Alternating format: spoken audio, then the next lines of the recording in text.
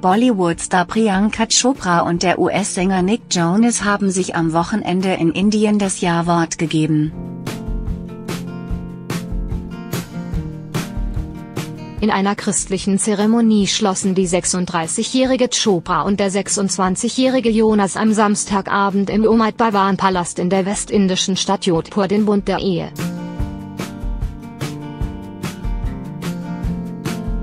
Am Sonntag wurde die Feier mit einer hinduistischen Zeremonie fortgesetzt.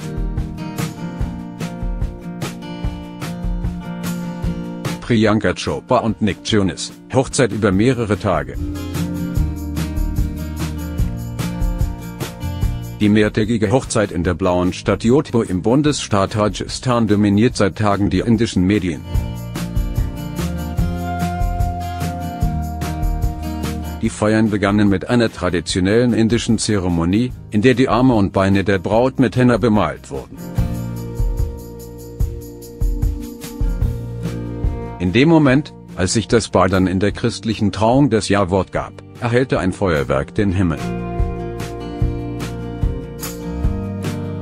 Am Sonntagabend lud das Paar seine Verwandten und Freunde zu einem aufwendigen Konzert mit indischer Musik und Tänzen ein, bei dem Dutzende Tänzer zu wechselnden Bühnenbildern auftraten.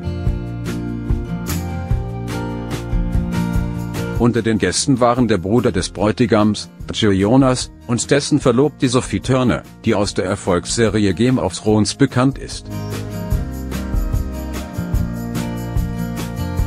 Jonas stammt aus einer tiefgläubigen christlichen Familie.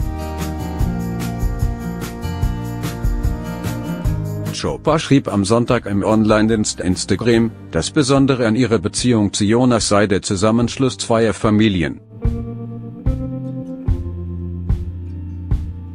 die den Glauben und die Kultur des anderen respektierten.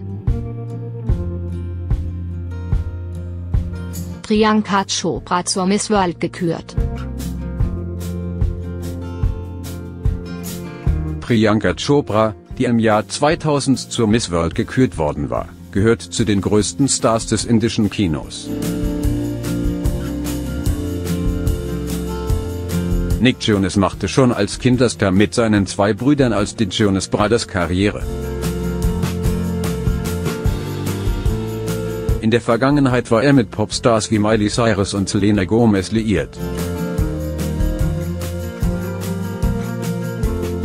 Das Paar hatte im August seine Verlobung bekannt gegeben.